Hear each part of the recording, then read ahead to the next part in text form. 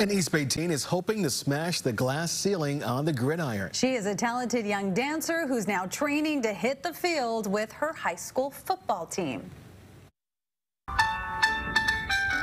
Pinky Schneier has always loved dance, but twice a week, this 14-year-old trades in her ballet shoes Go. for cleats.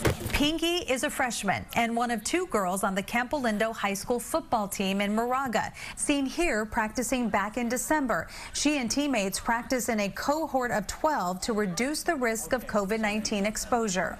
And now they're wearing masks for even more protection. I feel like blocking is probably one of my strong suits. She has to be tough and talented to play on the offensive and defensive line. Yeah, I think it definitely was helpful having brothers and growing up in like a pretty not rough environment, but like a very playful environment. It was her older brother's football games at Campolindo that inspired Pinky to play. From day one on the team, her coach saw big promise. I was very excited when Pinky decided she was going to do it. You know, because everyone heard that she might, and I'm just hoping that we'll do it, do it, do it. Second. A lot of girls get close, but you know, just can't cross that threshold. Well, Pinky did, and her tenacity started young. She was born with brachial plexus, a swollen spinal cord, and had very little movement in her arm and shoulder. It was really scary because if she was picked up the wrong way, she could have really been hurt and permanently paralyzed. So to see Pinky now in a contact sport like football? I love it.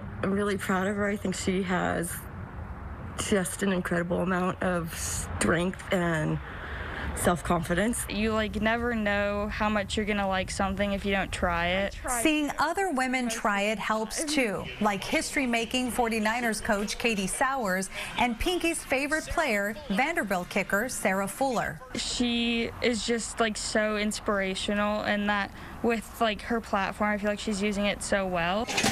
Pinky stays hopeful she'll play a game this year after COVID delayed the season indefinitely. I really hope we get to have a season because it'd just be so much fun to have a season and get to play alongside my teammates.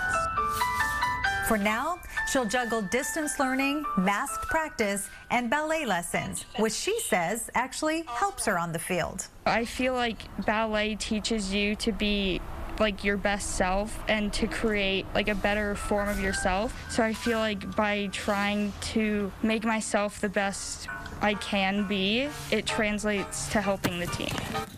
Like other Bay Area teams, Campolindo is still waiting to play its first game of the season. And since spring sports are up next, they may not get to, but Pinky and her family tell us they remain hopeful they will be able to play next year.